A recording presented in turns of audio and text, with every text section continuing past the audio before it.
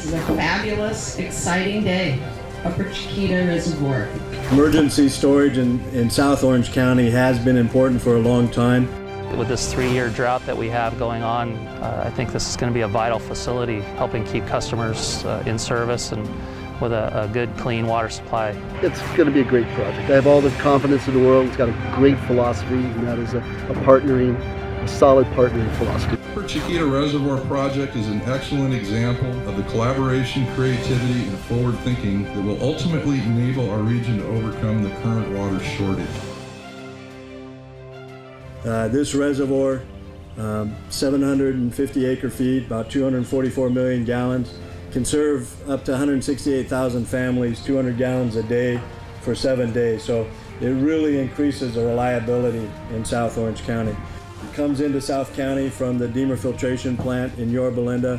There's two pipelines that serve South Orange County. So anytime there's an upset at the plant or one of those pipelines, we're really hurting down here for water. We're pleased with the site. The South County pipeline is in Oso Parkway and goes down the canyon. So we'll be filling this reservoir from water purchased from Metropolitan Water District through Municipal Water District Orange County. The reservoir, as you can tell, is going to be in the canyon right behind us. The two tight points right here will be the embankments.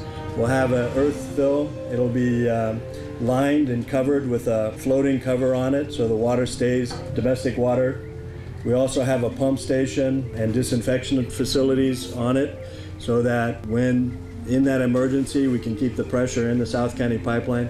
We can also keep the water quality up. As you all know, here in the 5th District, we are blessed with an abundance of beautiful open space, and we are certainly committed to protecting that. Transportation Corridor, Fish and Wildlife, Fish and Game. Those three agencies worked very closely with the district to help us develop a mitigation plan that worked for everybody. We also have relocated critical cactus habitat from the grading area into the next canyon so we can promote um, the cactus wren habitat. We're revegetating the site when we're done, and we also are participating in purchasing high quality uh, habitat within the Trabuco Canyon area as a linkage between central Orange County and south Orange County. This dam is uh, designed to uh, handle any earthquake that might happen that's predicted to happen in Southern California. The design of the reservoir is such that it will be a good neighbor. It's quiet and non-visible uh, from the homes and the surrounding local neighborhoods, including Las Flores and Wagon Wheel.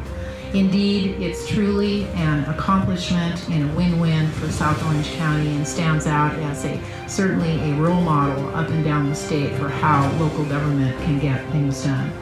It's very exciting for us as far as just having seasonal storage. In case the Diemer plant goes down, one of its the two main feeds for South Orange County go down, we've got storage for our customers. That's bottom line.